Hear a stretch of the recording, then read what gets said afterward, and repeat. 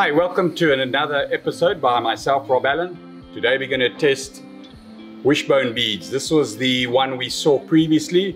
We tried to break several and uh, this one seemed to be the strongest.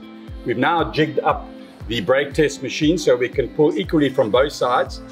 You remember the previous episode, the knots broke mostly and not the beads. Now we're going to see exactly how strong that Dyneema is inside your rubber when loaded.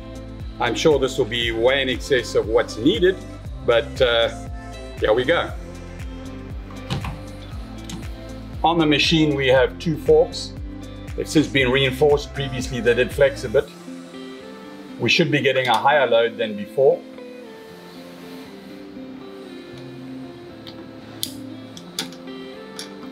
So they're set up there now showing one kilo, slight tension. We're going to apply force to this and see how high we get it.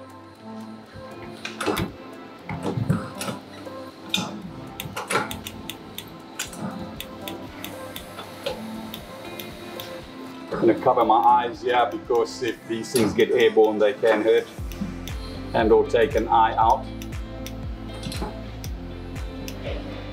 We're already in excess of what's required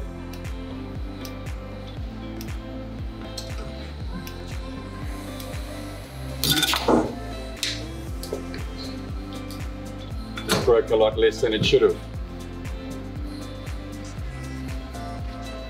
That glue is not good. So back to the drawing board. Okay, that was 110. Ah, well, that was 110. I expected that one to go a lot higher. Well, back to the drawing board again. Hi, as you can see, different t-shirt, different day. That clip you just saw was a previous setup we'd done. The bonding solution turned out to be not the correct one. So today we're going to try what I feel is the correct one and let's see how it goes. On a conventional gun, we pull about 60 kilos with a 16 mil rubber.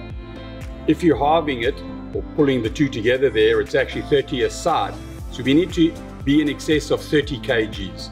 I want to be a lot more than that to make sure this is strong enough. Let's see how it goes.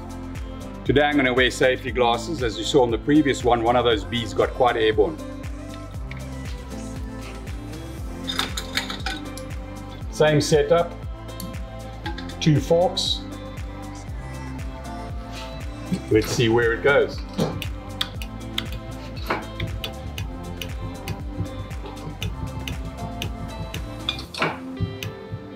Covering my eyes.